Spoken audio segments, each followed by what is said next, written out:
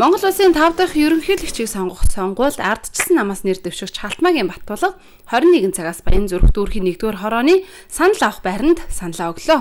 2017 оны Монгол улсын ерөнхийлөгчийн сонгох сонгуул өнөөдөр ингээд дуусч өглөө 7 цагаас 22 цаг хүртэл санал хураах байруудаар саналууд авна.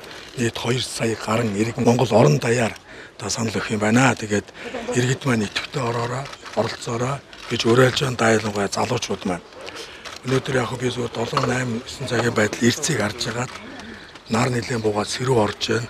Хөдөө гадаа явсан залуучууд маань идэвхтэй ирж саналаа өгөөрэй гэж дуурайлж энэ цагийг сонгож орж ирсэн юм аа. Ингээд монголчууд ялна гэдэгт итгэж байна.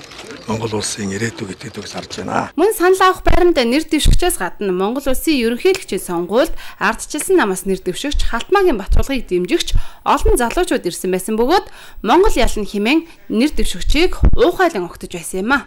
Монгол ялна! Монгол ялна! Хаа нэг бацтай. Ахуулаач.